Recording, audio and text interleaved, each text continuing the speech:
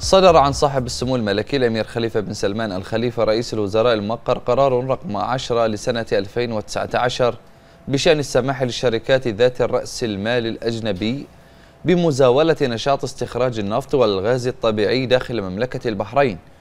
وجاء فيه مع مراعاة أحكام الفقرة ألف من المادة 345 من قانون الشركات التجارية الصادر بالمرسوم بقانون رقم 21 لسنة 2001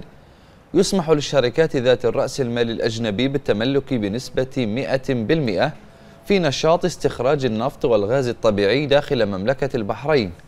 على أن تكون الشركة الأم الأجنبية قد وقعت أو في المراحل النهائية لتوقيع اتفاقية استكشاف وإنتاج النفط والغاز الطبيعي مع حكومة مملكة البحرين.